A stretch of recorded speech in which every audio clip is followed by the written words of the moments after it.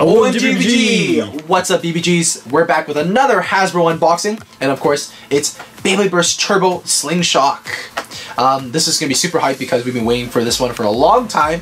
Look who it is. Phoenix! Phoenix P4. So it's the Hasbro version of Revive Phoenix with the uh, 10 disc and friction sling shock version. So that's going to be very interesting. Uh, and then we get like a no-name Beyblade pretty much. It's Cyclops C4. Whatever. It's not too bad. It's still cool to have for the collection, I guess. Um, but the Flugel Slingshock version will be interesting too. All the drivers are really fun to use. But uh, we're to have to compare though. Revive Phoenix versus Hasbro Phoenix P4. Very interesting to see. But we know this might get destroyed. so take a look at the stats. Full 11 defense. And then Cyclops has, what is this, full 11 stamina. So stamina type, that Flugel driver. Um, but yeah, let's open it up. Yeah, let's uh, see what the differences are with Takara Tomy Phoenix versus Hasbro Phoenix. I'm just surprised that they released it in like a dual pack. Cause you gotta get the other Bey too. Slip in that Hasbro exclusive. Oh, oh, all right, guys. At least the armor comes off. But I mean, like, man, this is so plasticky. This there's no weight to the armor. oh, good lord. And that's how they go fast in the Turbo Stadium. Yep.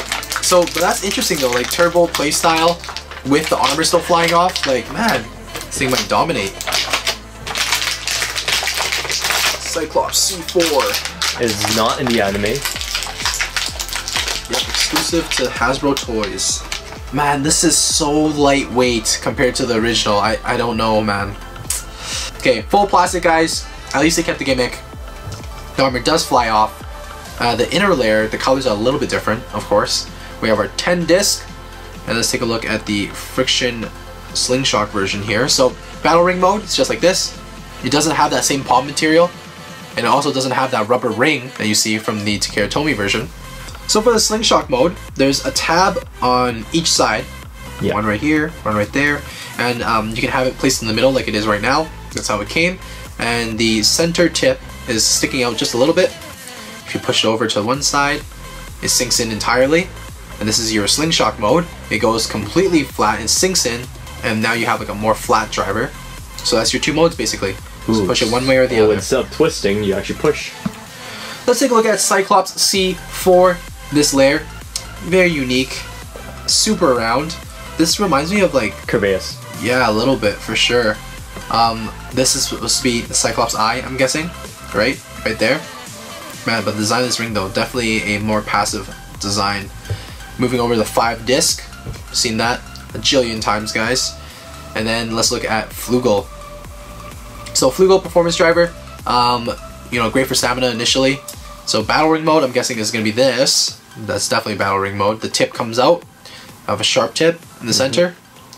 And then if you take your switch and you just slide it over one way, it sinks in.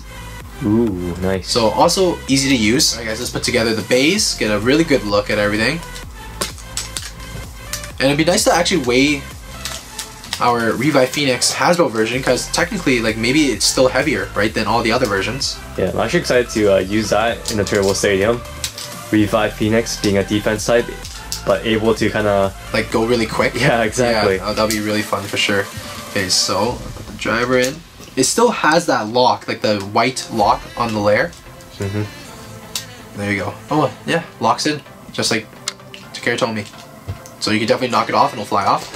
So for comparison, let's start with Cyclops. 38. All right. lightweight. Let's see if this is heavier. That armor. Hasbro Phoenix P4. Hitting the 40s. So that's nice. Here's another comparison. This is the Bloody Luinor that we uh, unboxed before, 38. So there you go. Revive Phoenix at least is heavier than some of the other um, Hasbro products that we have. So let's switch it up to Takara Tomy Phoenix. 54. It's like basically like 13, uh, 12 to 13 grams heavier to Takara Tomy wise. Ah, that's gonna be tough to beat. I know this is gonna be a very bad battle if we put up these two, but I still want to try it. Yeah, let's do I it. still want to do it though. Let's do a test spin with our new base. All right, let's go slingshot mode with our brand new Phoenix P4. Three, Three, two, one. one, let let it it. That ring already flew out. Yeah, that armor comes off so fast on like first impact. Was that slingshot mode? Yeah, it was. Okay. Oh, Cyclops. Pretty sweet though. Like added gimmick.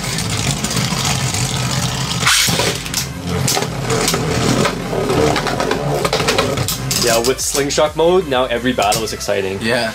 I'm curious, does this work on Takara Tomy's uh, version? The armor? You know, you Can try that? Yeah, we should have tried that. We didn't try it. It's Okay. So we got Will it- will Takeratomi, because yeah, me revive Phoenix. then we're putting the Hasbro armor on. Oh my lord, Does it work? it works. So what do you Yo, call that? The Hasbro Phoenix? The ghetto Phoenix, the the ghetto Phoenix with no upgrades. If they just add a little bit of metal, I guess it would outclass all the other slingshot Beys way too much. But what can you do? Still not too bad though. I, I'm glad they kept the design.